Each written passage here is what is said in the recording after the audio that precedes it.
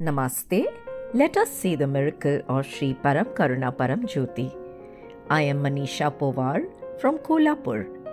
I had been suffering from severe acidity for many years, and my condition seemed almost incurable.